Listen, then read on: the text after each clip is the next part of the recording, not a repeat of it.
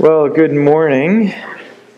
Yes, so uh, it's good to be back. Erica and I were away last weekend. We did a few uh, different things. Uh, it was just nice to be away. We went to Stratford. We uh, went to see the KW Symphony. Actually, never been there, but uh, that was great. Uh, great music, and uh, took in the ROM as well. So we did a few different fun activities with our kids. Our kids were with Erica's mom, so that was nice to just be adults and do adult kind of things. So that was that was good. And you were you were in good hands, Pastor Lindsay. I, I watched her message, and it was really good. Uh, it's interesting. You learn things even as a staff member about, about Lindsay through her sermon about things that gone that went on in South Africa. Lindsay typically doesn't share those sorts of things uh, broadly, so it's neat to kind of hear a bit more about that. And I really appreciated what she said about Ahithophel and when he didn't receive uh, when when the king didn't receive his advice, he went away and killed himself. And that kind of thoughtful reflection around how do we deal with times and situations when people don't receive what we are advising them? How how do we take that? Do we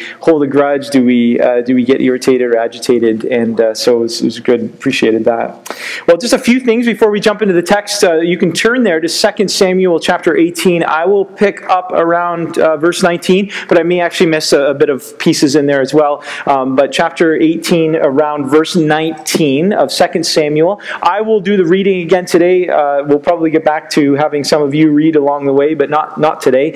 Uh, you probably noticed the beans as well as you came in. They're continuing to grow. And may it be a reminder remember, those were uh, planted on Good Friday as a reminder that repentance is essential, that kind of giving over of ourselves, of deciding, I'm, uh, I'm allowing the Lord Jesus Christ to take and use this me and change me entirely so that I'll no longer be like a seed, but I'll become like a plant. And remember, uh, those bean plants don't yet have any beans on them. And so, those of us that might be tempted to feel a bit like, well, I've repented, where's the fruit? Well, just like in, uh, in uh, agricultural society, it takes a while between the planting of the seed and the harvesting of the fruit. And may that be a reminder for us that just because we repent doesn't mean we're all of a sudden going to be these great, wonderful fruit bearing people, right? But it actually takes time and it takes uh, a lot of, of just continuing to surrender and being patient and, uh, and all of that. But through time, God begins to do something. He begins to grow us, and as we grow and mature, then we become we can we reach a place where we become fruit bearing. And I trust that we are all uh, moving in that direction. We uh, our weekend. Uh, by the way, you notice uh, up on the screen, I was counting the tools in the tool belt that I knew the names for. And if you're like me and you don't quite have a knack for building things that stand up, uh, there is a demolition part of what we're doing in Stayner. So if you're interested in just kind of bringing some frustration to the weekend and taking it to uh, a structure that might need to be taken apart, then there's places for you as well. So, so men, if you're interested in in uh, destructing as opposed to constructing constructing. There's, there's places for that. Uh, visioning process, the core values are in your bulletin. We, we continue to ask you to pray for and, and about and over those values. Faith being confidence in God's unseen work. Uh, love being caring for others without condition. Integrity being living like Jesus in every situation or in all seasons. And sharing or being abundantly free in the spirit to give. And even uh, as I've been uh, reflecting on those and praying those over, I think about two situations this past week in conversation with people that, that kind of, that that aspect of sharing and am I being generous in my words? Am I being generous with the way I'm thinking about this situation? Uh, am I free in the spirit to be generous, to be giving? And so think, uh, be thinking about these sorts of things and, and being allowing your, your life to be shaped by them.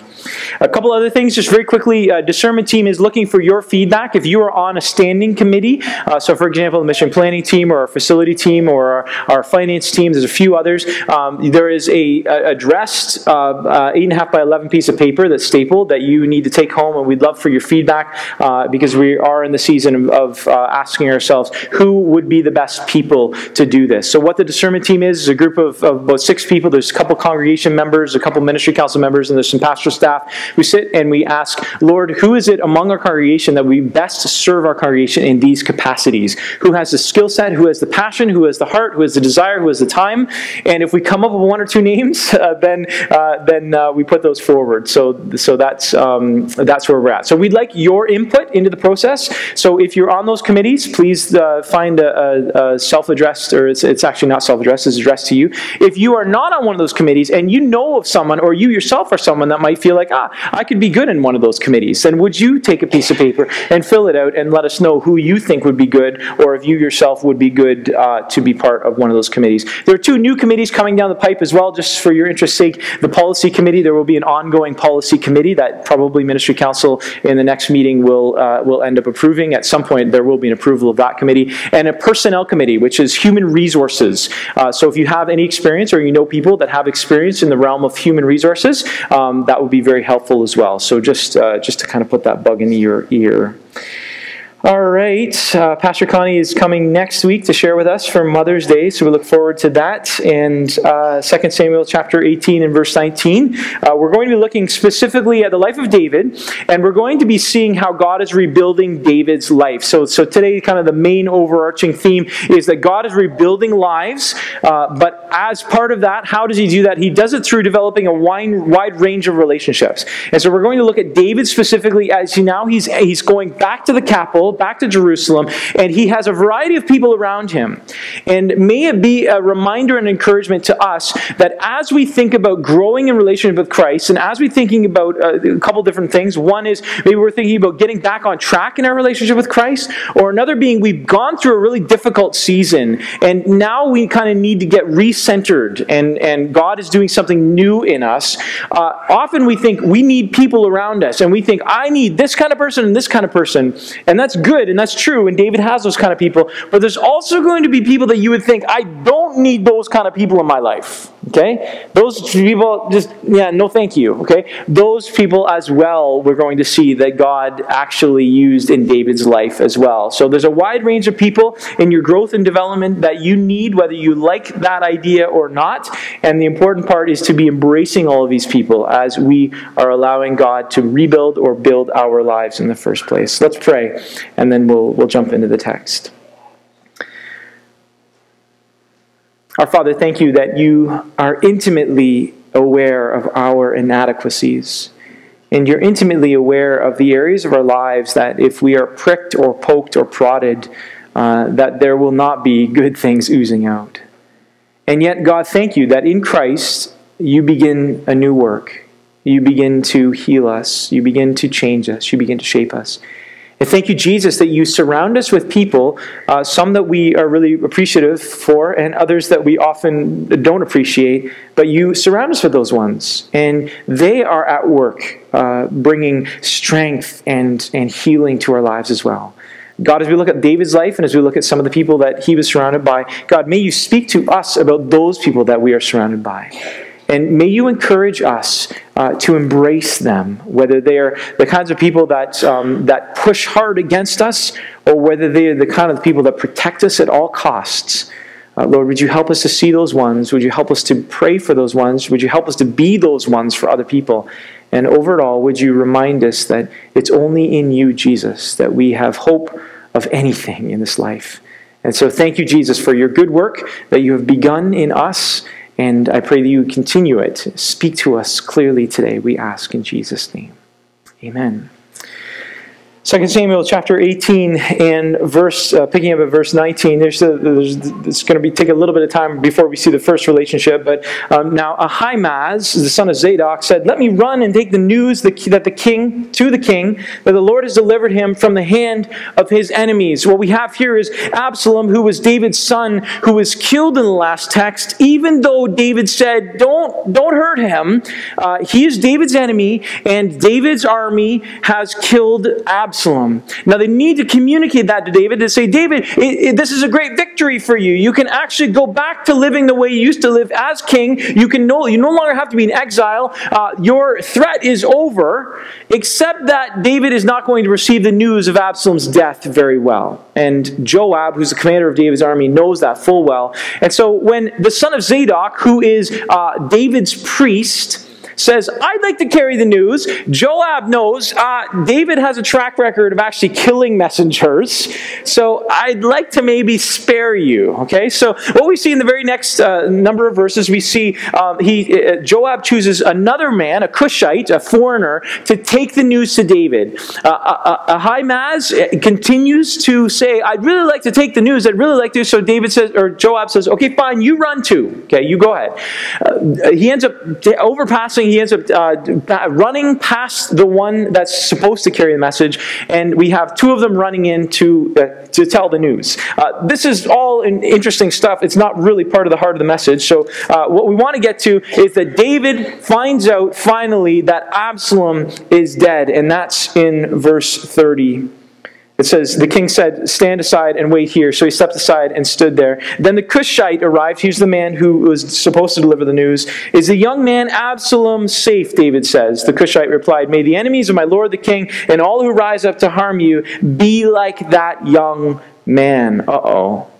Uh, this is bad news. And David takes it badly. In verse 33, the king was shaken. He went up to the room over the gateway and he wept.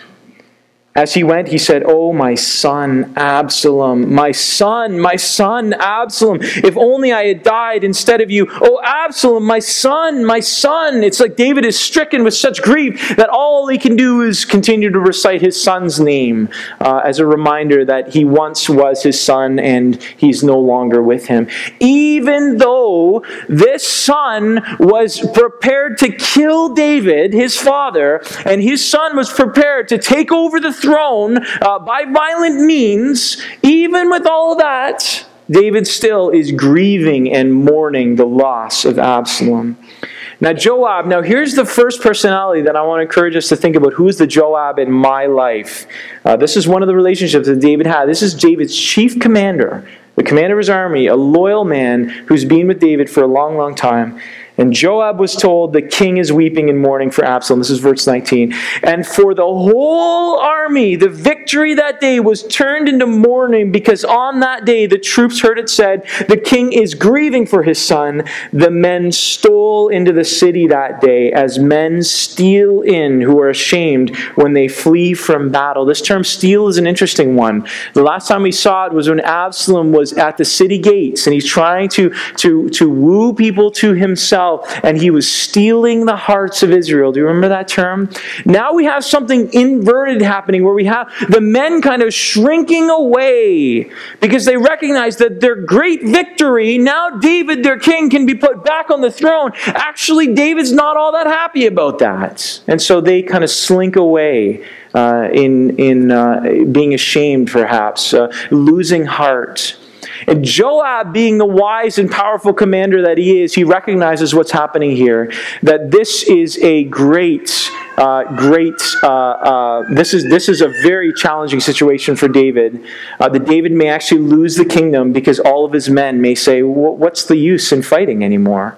What's the use in in in in looking after David the king because he doesn't want it anymore? Uh, he." He, he, he doesn't want us to fight for him anymore. Well, verse 5 says then when then Joab went into the house of the king and said now remember this is Joab this commander. The king had every right to do whatever he wanted to Joab. And he says today you have humiliated the king and said uh, all of your men who have just saved your life and the lives of your sons and daughters and the lives of your wives and your concubines you love those who hate you and you hate those who love you you have made it clear today that the commanders and their men mean nothing to you, David.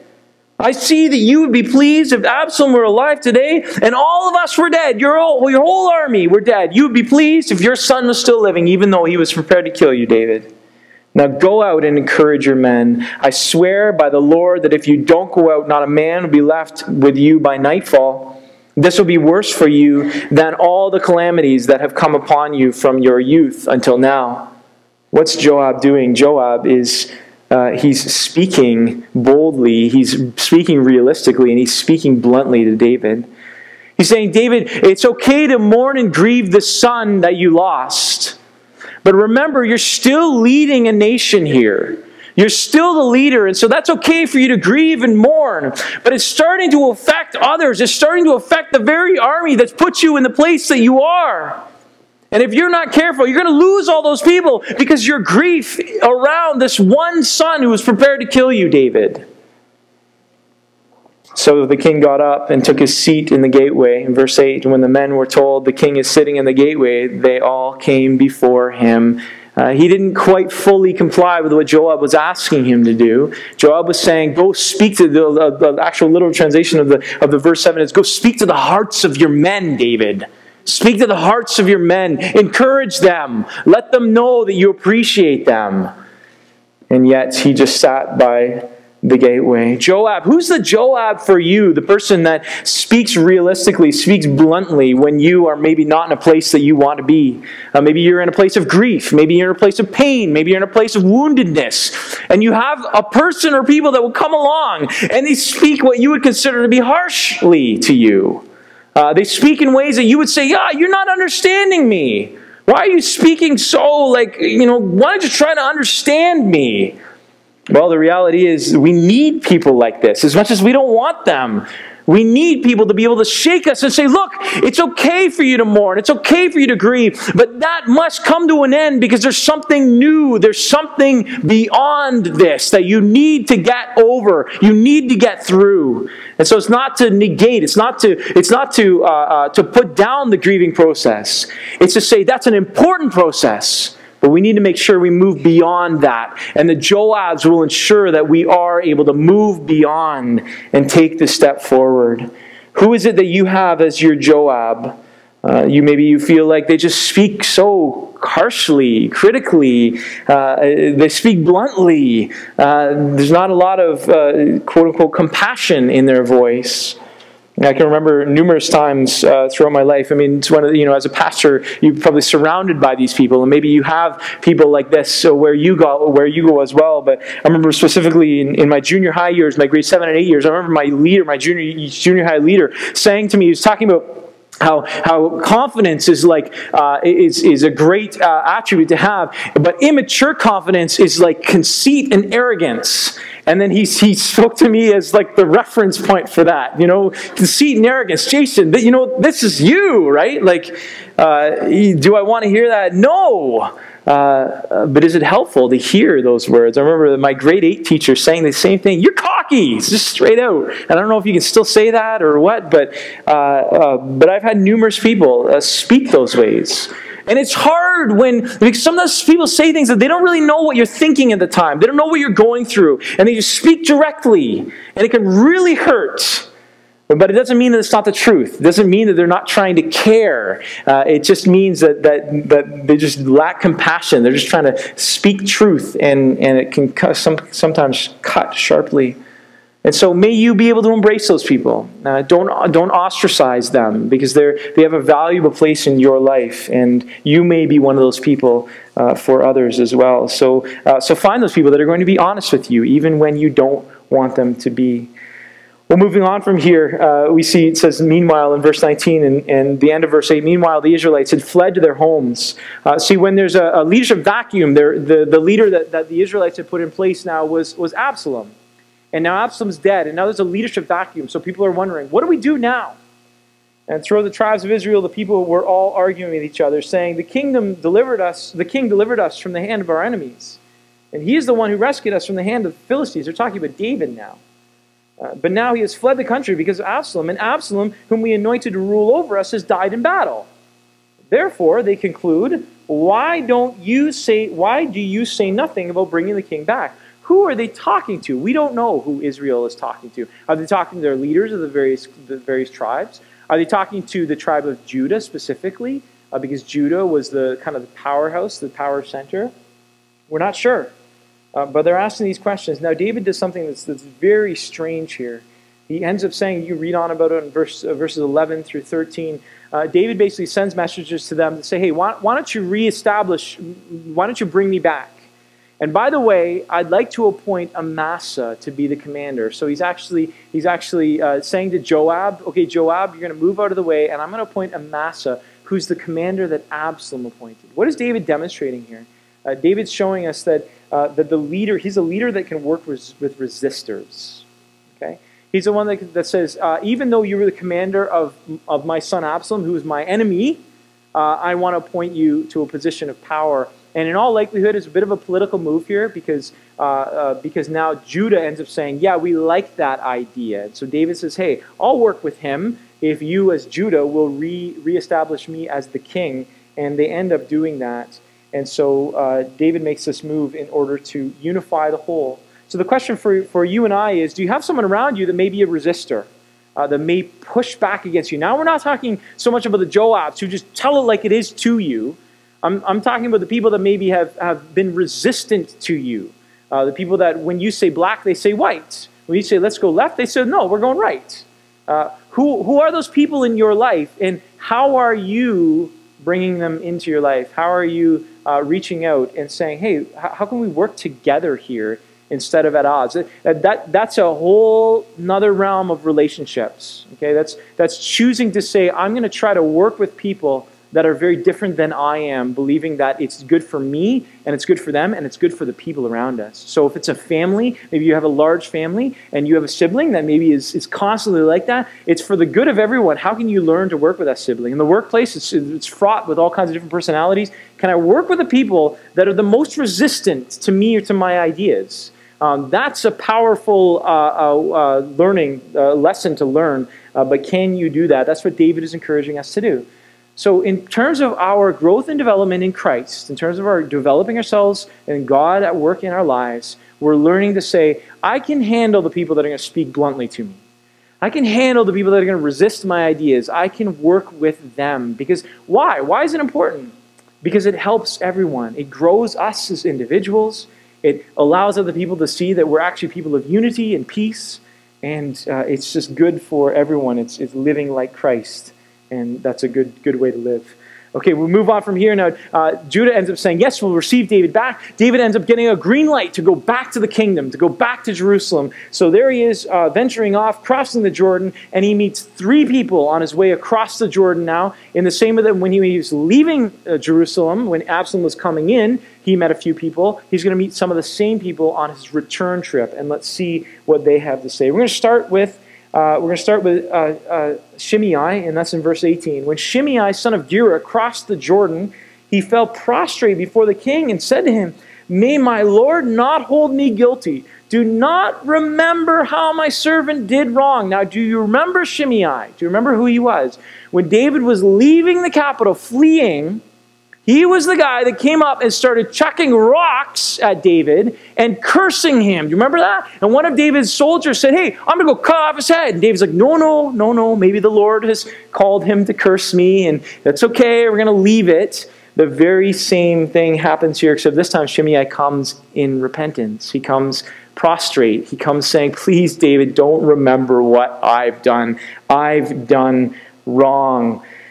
And David, uh, then Abishai, the same guy that wanted to cut off his head, uh, son of Zeruiah, in verse 21, says, Shouldn't Shimei be put to death for this? He cursed the Lord's anointed. And David wisely says in verse 22, What do you and I have in common, you sons of Zeruiah? This day you have be- become my adversary. So the very person that wants to go cut off Shimei's head uh, and, and wants to deal death to him, David says, Look, you're my adversary. He's not my adversary. You are now my adversary. David goes on to say, Should anyone be put to death today in Israel? I do not know that today, do I not know that today I am king over Israel? So the king said to Shimei, You shall not die. And the king promised him on oath. Do you have any Shimeis in your life? Those that have maybe cursed, thrown rocks, caused pain, agony, upset? Do you have any Shimeis that you've maybe been tempted to say, I can't trust them? I'm not, you know what? Even if they came back to me and said, I'm so sorry, I didn't, you know, I didn't mean to do, I, you know, please forget everything I've ever done. And you feel like, no way, there's a locked door there. Not interested. No, thank you. David is a reminder that David says, there's never a locked door. It doesn't matter if you threw things, uh, if you try to kill me with rocks or if you try to curse me out, there's no locked door here. And when you come back, you will be received with open arms, is what David teaches us. This is actually what Jesus teaches us. Who is your Shimei? Who is that individual that's thrown rocks at you, that's cursed you, that's, that's, that's made your life uh, uh, really, really difficult? And who is it that you might need to receive back? And maybe they are or are not repentant. So you notice that David treats Shimei, regardless of whether he's repentant or not, David is consistent in saying, don't put him to death. David's consistent in saying, no, we're not, we're not going, to, we're not going to, to, to dish back to him what he's giving out here. Let me give you a little, little example. When I was in grade, um, grade 5 and 6, uh, my Shimei's name is Paul. And uh, and he was uh, uh, he was a guy that um, that came to our school late, later on, maybe grade four or something like that. I remember the one day we were in our, our schoolyard, and we had decided after school we were going to fight. And I didn't want I didn't want to fight him. I don't remember what it was all about. I didn't want to fight him, and so I remember me and him and another person. I can't remember who the other person was. We're standing there, kind of we're kind of straddling our bikes, you know, basically saying, "Look, look who's going to throw the first punch?" And I'm like, I don't really want to fight, but I don't really want to run away. So you know, let's just have a war of words. It ended with him throwing a punch and, and hitting me square in the nose, and I remember walking away with a bloody nose. And, uh, and I, I remember I didn't like him, obviously. he didn't like me. And I remember between that time, this is grade five or six, I remember between that time and grade nine, he, him and his family started attending my, the little rural church that I grew up at. And uh, we became kind of, we reestablished, re- reconnected, we, we kind of, you know, became somewhat friends. It wasn't a long season between grade, grade six and grade, grade nine, but somewhere in there he started, started attending church. I don't know what happened with him and God. I don't know what, what happened with his relationship with God. But in grade nine, he was running the bus, and his heart failed, and he died. And that was it. And none of us, none of us know what is going to happen with the people around us. And we can hold all kinds of grudges, and we can be really angry and upset with people all around us. And the question is, we don't know when our end is going to come, and we don't know when their end is going to come. But what kind of living example do we have and are we setting? And are we going to say, look, you know, you, you punched me and gave me a bloody nose and I'm not going to forgive you. It doesn't matter what you do. Or, you know, I remember, you know, for you it's not a bloody nose. For you, maybe something else. And maybe they're not repentant. But the question is, what are you doing with them? And on that day, when you are, are when it's your end of your life or on, their end of their life, uh, are you going to be able to say, "Look, I, I know I have nothing against them, and I have I have done my very best to bless them, and I've done my very best to love them." And I remember with Paul, it was looking back, going, "Yeah, like I, I remember I had a really good relationship with him, and I don't even remember what that issue was that happened on the on the on the school in the schoolyard." Uh, but may we find ourselves going, you know what, that's Shimei. I know, I know the few things that they've done to me, and I know it hurt me, it stung, it was so awful, and yet I believe that God is going to do something in and through them for good. And I know that God is going to do something with what they've done for good, because that's the kind of God we serve. God is in the process of rebuilding your life, and rebuilding my life, and rebuilding the lives of the people around us. And the question is, are we embracing even the hard people, even the hard situations in life? And are we receiving those as part of how God is rebuilding us and asking us to treat people who may mistreat us? Well, let's move on from there. We the next one we see is, is Mephibosheth. And Mephibosheth, we've seen a couple of times before. He's, he's crippled. Uh, he's a descendant of Saul. And we saw not him, but we saw his guardian, Ziba, uh, when when uh, David was was running away from Absalom, Ziba came along, and Ziba had all kinds of uh, he had all kinds of donkeys and all kinds of food, saying, "Here you go, David. This is for you and all your people. I want to support you." And David's like, "Where's Mephibosheth?" And Ziba says, "Mephibosheth is in Jerusalem. He's waiting for Saul's kingdom to be reestablished." Do you remember that? And David's like, "Whoa, what's going on there?" Now here's Mephibosheth. Verse 24 Saul's grandson also went down to meet the king, and he had not taken care of his feet, or trimmed his mustache, or washed his clothes from the day the king left until the day he returned safely. And when he came from Jerusalem to meet the king, the king asked him, Why didn't you go with me, Mephibosheth? Why did I see Ziba, but you weren't there? He didn't say, I heard, Ziba told me you were waiting for Saul, for the kingdom to be reestablished with maybe you or, or, or someone in your lineage. And this is what Mephibosheth says in verse 26. He said, My lord the king, since your servant I am lame, I said, I will have my donkey saddled and I will ride on it so I can go with the king. So Mephibosheth is saying, hey, David, I had every intention of saddling my donkey and getting out to meet you on your way out of the city, and I was going to be with you every step of the way. And he has slandered your servant. No, sorry, but Ziba, my servant, betrayed me. Verse 27 And he has slandered your servant to my lord the king. My lord the king is like an angel of God. So do whatever pleases you. All my grandfather's descendants deserve nothing but death from my lord the king, but you gave your servant a place among those who eat at your table. So what right do I have to make more any more appeals to the king? What we find here is actually Mephibosheth, a loyal, a loyal friend who was reported to no longer be loyal, you will have Mephibosheth surround you. And the problem with, with uh, Mephibosheth, not with Mephibosheth, it's what got relayed to David that Mephibosheth had said, and it was through Ziba. That Ziba said, Hey, David, you know, this is what's going on with Mephibosheth. And David had to go, Well, really? Is that really what's happened? Uh, here's, uh, here's the issue. In terms of rebuilding your relationship with God, as you learn the ways of God, be very careful about hearing secondhand information about the people that are your friends. Okay? There will be times when you hear something happen that somebody is a friend of yours, an acquaintance of yours, and you get word back that actually they've said something that undermines that relationship. Okay? Be very careful in the process of walking with God, and God is growing you and maturing you. Be very careful what you do with that. Okay? Because the odds are that person probably wasn't intending to fracture the relationship with you, or they may have come directly to you and done that. The odds are that person maybe misinterpreted just a, a little thing and that person may have a reason why they may want to bring that to you to create some sort of dynamic between you and that other individual. And before you know it, you've got a, a crazy relationship mess on your hands. So ask yourself, how close is that messenger who's bringing that word about that Mephibosheth in my life? How close is that messenger to me? How close is that messenger to that Mephibosheth? Okay, how, how good of a relationship do they have? Uh, and ask yourself, do they have anything to gain or lose in the passing on of this information? And then ask yourself, are you sure that the messenger has accurately determined the intentions or the motivations of the message? Let me give you just one small example and move on. Imagine if in a, in a moment of frustration, this hasn't happened in our household, in a moment of frustration, I said to our kids, I'm always the one that has to refill the milk container. Okay, you know, the milk bag. Okay, I'm always the one who has to refill that. Okay?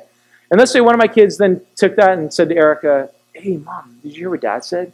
Dad said he's the only one that refills the milk container. Okay? Now, what's my motivation? What's my intention trying to communicate to, to my kids? And by the way, I wouldn't advise anyone use these, you know, don't, don't say those sorts of things. Uh, but what's my motivation? What's my intention in saying that? My intention is to say, I'm frustrated because I want you to refill the, I'm, I want you kids, when you finish it, you refill the milk container, right? But what's being passed along is something very, very different than the original intention, and yet it is accurate in what I've said, right? Okay. So do you see how relationships can very easily get twisted and distorted by, oh, I heard you say that, and I'm going to carry it over here and before you know it, then I'm out of relationship with this individual and I haven't even talked to them somehow. Okay? So be very careful about when information gets passed along. Uh, if you can, do everything in your power just to forget what that person has passed along to you if it's going to influence negatively your relationship. Okay? Positive information, great. Take it all day long. Okay? But as soon as it becomes negative, just forget it. Just shut it, shut it off and if that person really wants to communicate that to you, they will have ways of communicating it directly. But it just creates an even bigger mucky mess if you go around and say, hey, I've heard you say, uh-oh, okay, because now you're, you're, it's, it's a big mess. Okay, all that to say, you will have Mephibosheths in your life. You will have those trusted, loyal people that someone might bring you information that would question that loyalty or question that friendship. Be very careful about that and trust, be confident that that friend is actually a loyal friend until the one day that they do come into your life and say, you know what, I don't like you anymore, I don't want to be your friend anymore, whatever. Take it straight from their mouth. Before that, assume that they're loyal. And that's what Mephibosheth says. Hey, David, I got I got messed over here. Uh, Ziba betrayed me. He came to you. He said some things, and I'm so sorry. That's not at all. I I am loyal to you, beginning to end, and that happened well. So in our process of, of growing in relationship with Christ, uh, recognize those relationships and be careful about the people that might try to come in between those things. Finally, Barzillai, uh, another man, we see him in verse 31. He says, uh, Barzillai the Gileadite also came down from the, from the Rogelim to cross the Jordan with the king and to send him on his way from there. Now Barzillai was a very old man, 80 years of age. He had provided for the king during his stay at Mahanaim for he was a very wealthy man. Uh, you, I trust that you will have a Barzillai in your life, not that they would be financially prosperous, but that they would actually provide a place of safety and protection for you that Barzillai, even while uh, even while David was away from his capital and he was in exile, he was living uh, basically uh, outside of the protected fortress of the city. Barzillai took it upon himself to provide for all of David's people while they lived out there, and he cared for them and he protected them. And David's now saying, "Come with me, and I will care for you." And Barzillai is saying, "No, no, no, you don't you don't need to do that for me." And I trust that you have people like that as well you have people that, not like the Joabs, who will speak truth to you and they will say it bluntly, but people that actually protect you at all costs. They are there for you and they are there to walk with you, especially through those very difficult seasons that you may find yourself in. Uh, I encourage those people if you have them.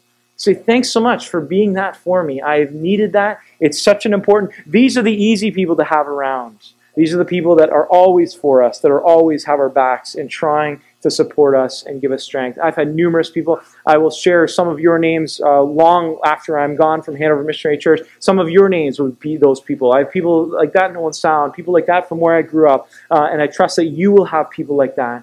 Uh, that just are there. They're, they're, they, their names don't necessarily aren't on billboards, but they're there to care for, support, protect, encourage, pray for. And if you don't have uh, someone like that, pray, God, would you bring me someone like that who can help me, who can walk alongside of me.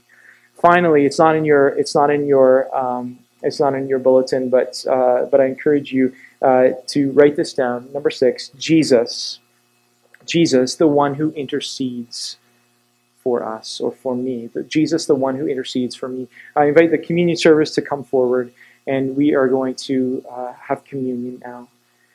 And as we take this time, we also recognize that over all of this, there's Jesus. And Jesus is ever present. There's nowhere that you can go that Jesus won't be. And Jesus is ever interceding for us so that whatever situation you find yourself in, Jesus is praying for you to the Father. He's bringing your requests, your needs to the Father, even when you can't even speak. Uh, we sang the song, What a Friend We Have in Jesus. And the song talked about take it to the Lord in prayer. And as we celebrate communion, as we take time, spend some time taking some things to the Lord in prayer, but also spend some time remembering that Jesus is actually bringing you to the Father in prayer. Uh, let me read this text from John chapter 17. This is Jesus' prayer for you and for me and for all the believers. Jesus says this. My, and I encourage you as you take the bread and the cup, just, just hold it uh, and we will take it together. My prayer is not for them alone. I pray also for those who will believe in me through their message, that all of them may be one, Father, just as you are in me and I am in you. May they also be in us, so that the world may believe that you have sent me. I have given them the glory that you have you gave me that they may be one as we are one. I in them, and you in me. May they be brought to complete unity to let the world know that you sent me. I have loved them, even as you have loved me. Father, I want those you have given me to be with me where I am and to see my glory, the glory you have given me because you loved me before the creation of the world. Righteous Father, though the world does not know you, I know you, and they know that you have sent me. I have made you known to them, and will continue to make you known in order that the love you have for me may be in them, and that I myself may be in them. Move us into action. We must go. So we're thankful that uh, we have the Lord Jesus who's interceding for us. Uh, may we also be thankful for the Shimei's, the Mephibosheths, the Barzillais, the people like David, the people that are all around us, and even, yes, the Joabs who may speak bluntly to us. May we find that Jesus is actually doing an ever growing transformational work in our lives to make us more like Him uh, so that we can be effective in the world around us. Let's pray.